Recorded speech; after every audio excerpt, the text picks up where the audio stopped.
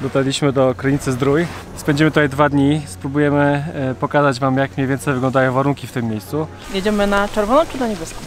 Jedźmy na niebieską, ale powiedzmy do kamery, że jedziemy na czerwoną. Aha, dobra.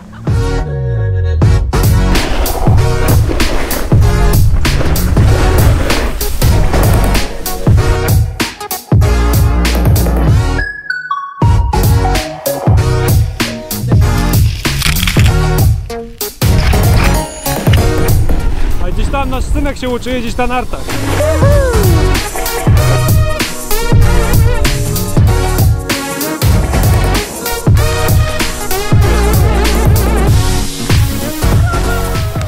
Tato, wiedziałeś jak szybko pojechałem? Widziałem. Dwa zjazdy temu zostawiliśmy Mikołaja ze swoją babcią tutaj na tym stoku dla dzieci, ze łzami w oczach, a teraz przychodzimy, a on już sam wjechał tym malutkim orczykiem dla dzieci, a teraz widzę, że zjeżdża z góry.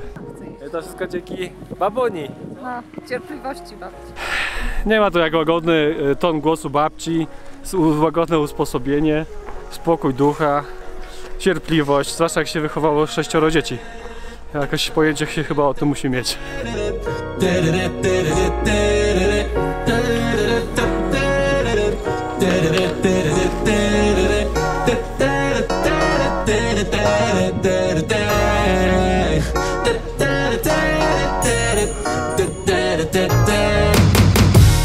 Przede wszystkim nie czuć takiego oddechu tłumu, ani pod y, wyciągiem, ani tutaj na stoku. Y, Trasy są bardzo szerokie y, i nawet czerwona jest bardzo przyjemna do jazdy. Robimy sobie mały spacer po tej miejscowości, w przerwie pomiędzy jazdą nocną a dzienną.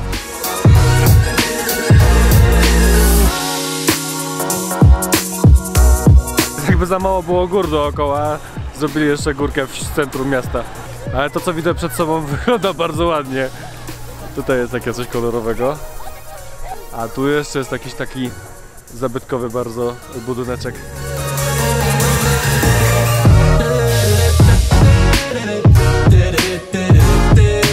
Wchodzimy teraz do miejsca, które nazywa się Pijalnią Wód. Kurczę, jaka dżungla. A, jest taki jakby bar, przy którym są kraniki. Panie nalewają i sobie pijesz wodę. Trzeba przyznać, że chyba najzdrowszy bar na świecie. Okej, kończymy spacerek po tej przemiłej okolicy. Szukamy jakiegoś jedzonka i wracamy na stok. Podobno Słotwiny Arena są czynne do 10 w nocy. Zobaczymy jak się jeździ o tej porze.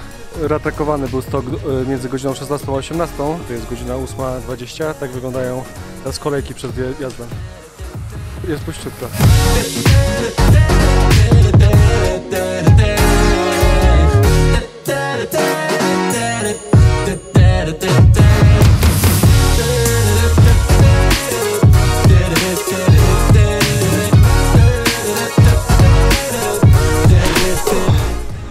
Przy okazji mamy e, tempo zjazdu.